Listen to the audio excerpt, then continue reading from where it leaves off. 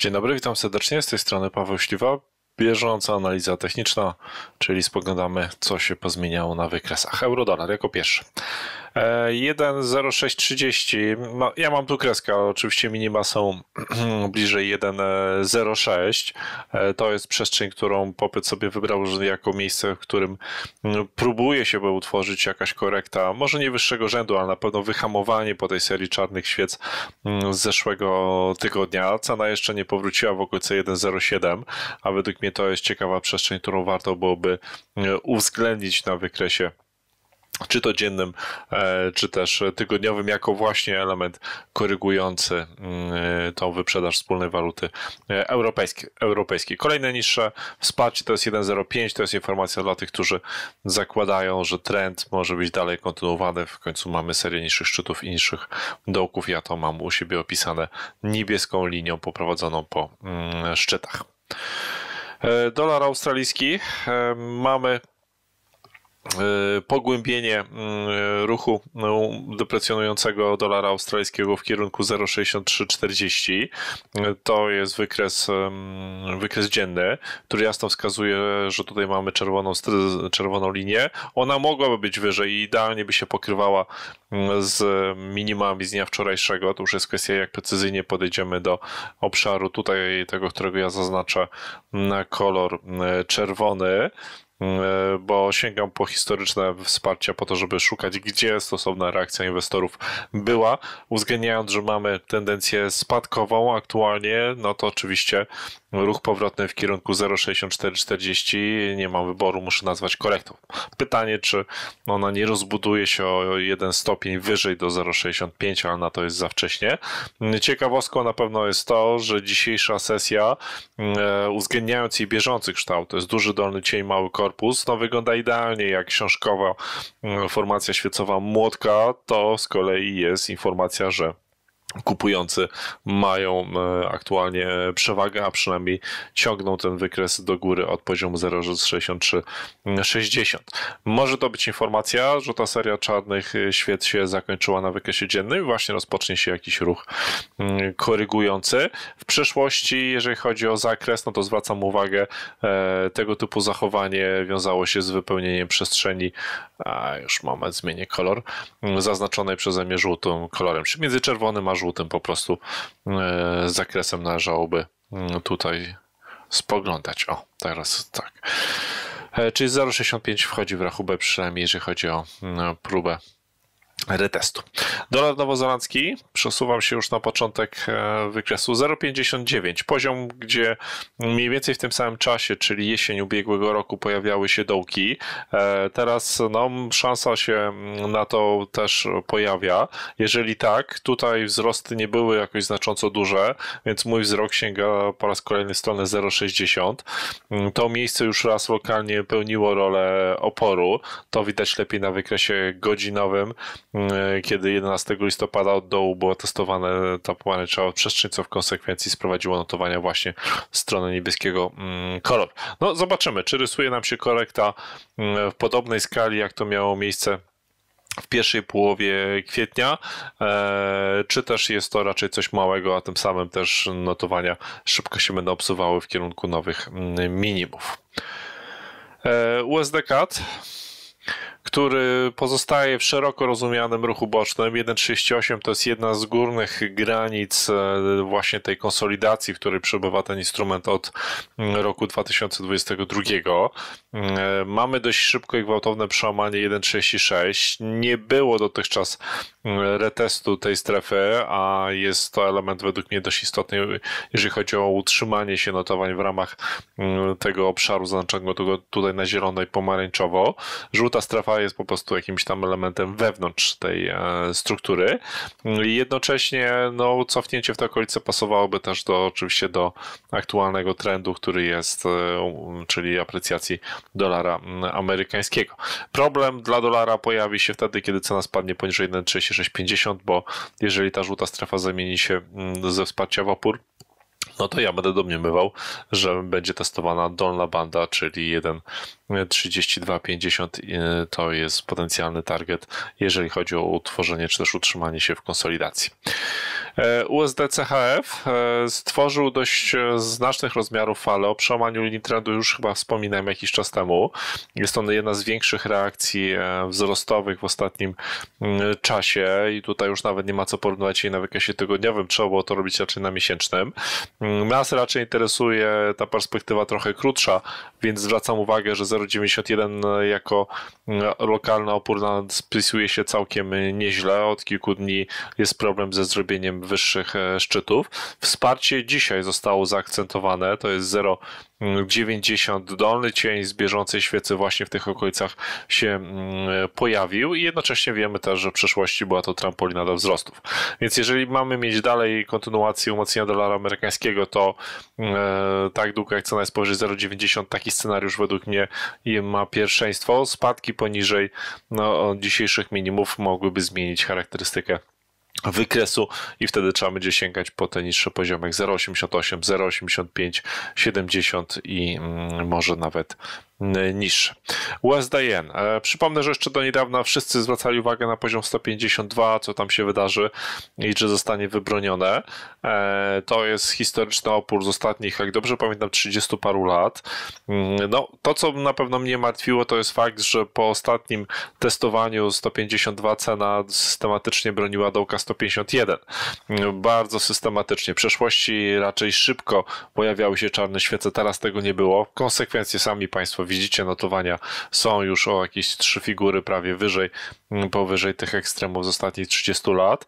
E, no i na razie jedyne co można powiedzieć, to mm, patrząc na wykresy godzinowe, mamy mały impas, czyli wyhamowanie mm, gdzieś e, tutaj się nam pojawia na dolarze amerykańskim.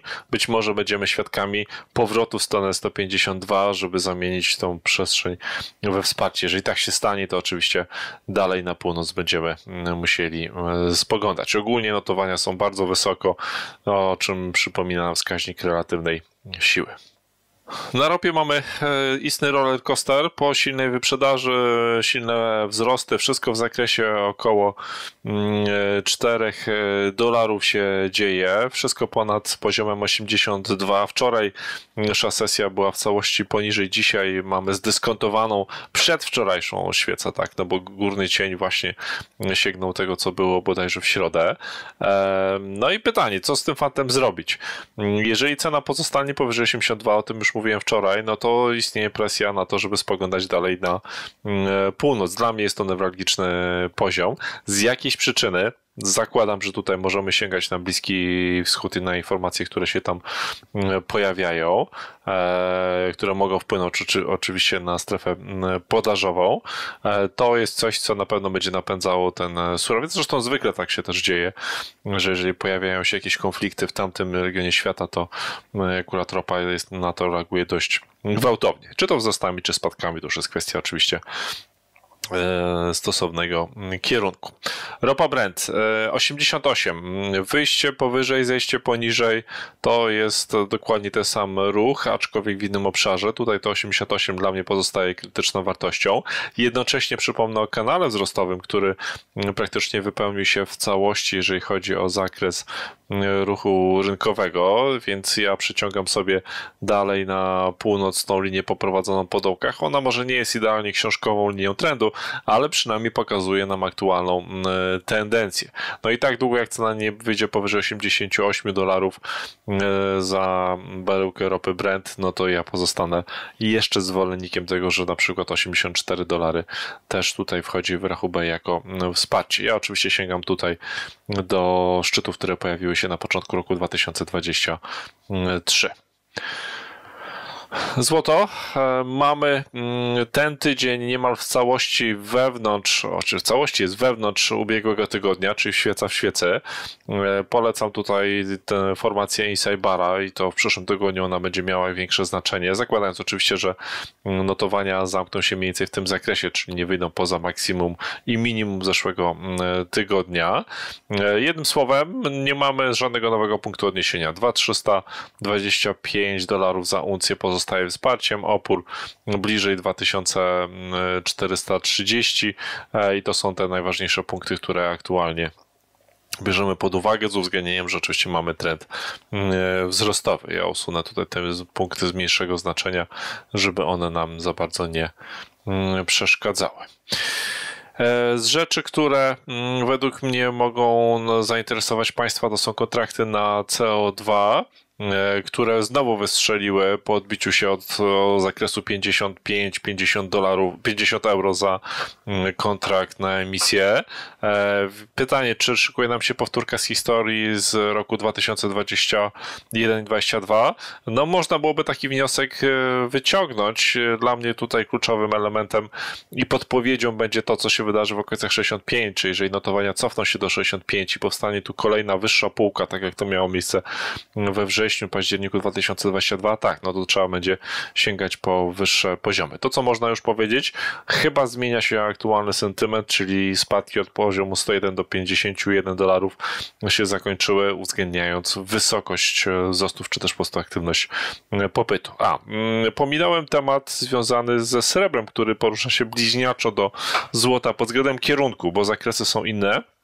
Przypomnę, że na tym instrumencie Maxima to jest daleko, daleko na północ, tam bliżej 50 dolarów, ale to, co według mnie jest tutaj istotne, że cena w zeszłym tygodniu zatrzymała się w okolicach 30 dolarów za uncję, znany poziom z przeszłości.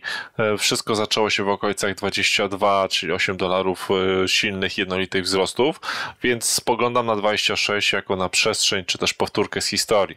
Po odbiciu od 30 dolarów w roku 2020 mieliśmy cofnięcie do 22 z małym przystankiem wcześniej na 26.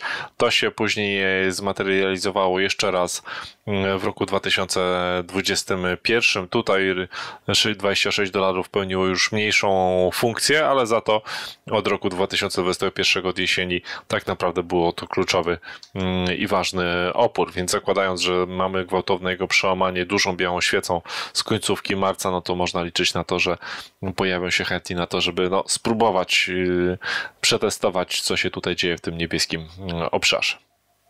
Indeksy.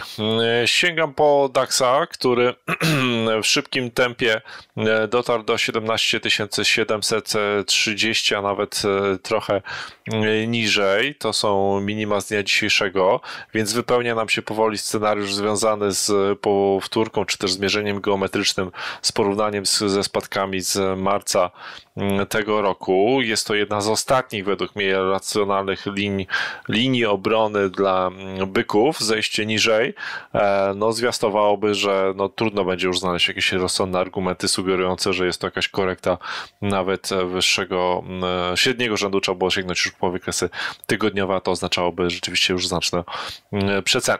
E, wydaje mi się, że ten dolny cień, czy też reakcja wzrostowa, która pojawiła się w tym miejscu dzisiejszym, nie jest przypadkowa, uwzględniając z jednej strony dołki, które pojawiły się na początku marca, z drugiej strony linia FS100 bardzo ładnie tutaj obrazuje, że aktywność byków w tym miejscu powinna się e, pojawiać. Tak zwykle bywa kierunkowe mierzenie geometryczne ma taką siłę, że potrafi e, troszeczkę prognozować przyszłość. Nie jest to zadanie łatwe mm, e, i obarczone bardzo dużą dozą błędów, więc e, kiedy ono funkcjonuje, no to oczywiście bierzemy je pod uwagę.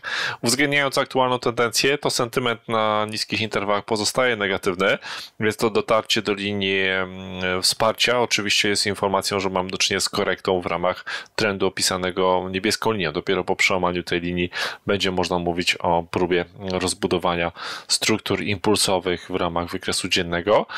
Ja bym zwrócił dodatkową uwagę na ostatni opór, bo zgodnie z klasyczną definicją trendu niższe szczyty, niższe dołki, czy okolice 18 tysięcy punktów, no to jest ta przestrzeń, która definiuje nam klasyczny, klasyczny trend spadkowy w krótkim terminie oczywiście, tak, no bo to jest no, istotna uwaga.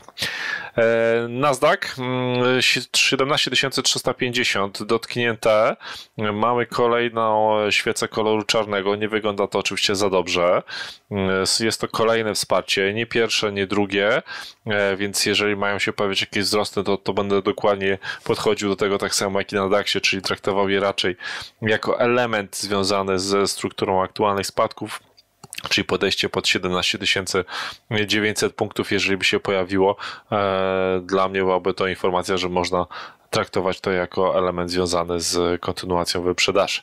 Mm, także pozytywnie, no nie za bardzo. Wskaźniki powoli zaczynają spadać. MACD już przecięło się ze swoją linią średniej koczącej, więc jest to pierwszy negatywny sygnał na wykresie tygodniowym. E, RSI też spada i ma sporo przestrzeni do wypełnienia do strefy wyprzedania. Mm, to wszystko można też obserwować na niższych mm, wykresach na D1C. MACD jest już ujemne, więc to jest dodatkowa informacja, że podaż mm, całkiem dzielnie sobie tutaj funkcjonuje i nawet jeżeli będziemy mówili o korekcie wyższego rzędu, no to zwracam uwagę, że tego typu sytuacje już żeśmy przerabiali w wakacje z zeszłego roku, zahaczając nawet o e, jesień i wtedy, czy też teraz należałoby się w takim razie porównywać już do tej korekty, która właśnie w tamtym okresie się pojawiła. Na razie jeszcze nie są one na tyle porównywalne, żeby móc tutaj korzystać z kierunkowego mierzenia o wartości oczywiście 100%, bo tam inne współczynniki jak najbardziej można brać pod uwagę.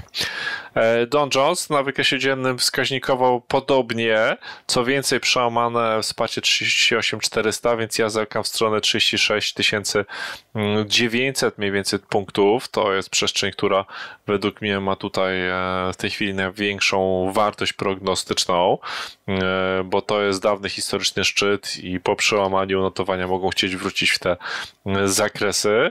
No zobaczymy. Tutaj oczywiście też odnośnikiem dla nas jest, to są dwie poprzednie korekty 3400-3500 punktów. To wszystko właśnie w okolicach 36 900 punktów na siebie nachodzi, tworząc taką koincydencję, czy też czasem zwany klastrem cenowym, więc ma to spore znaczenie patrząc z perspektywy analizy technicznej.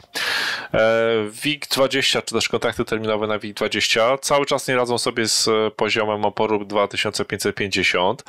Wczoraj notowania zeszły jeszcze poniżej 2400. Przypomnę, że tutaj jeżeli cena od dołu atakuje tą przestrzeń, to tam często pojawiają się nawet lokalnie mm, szczyty.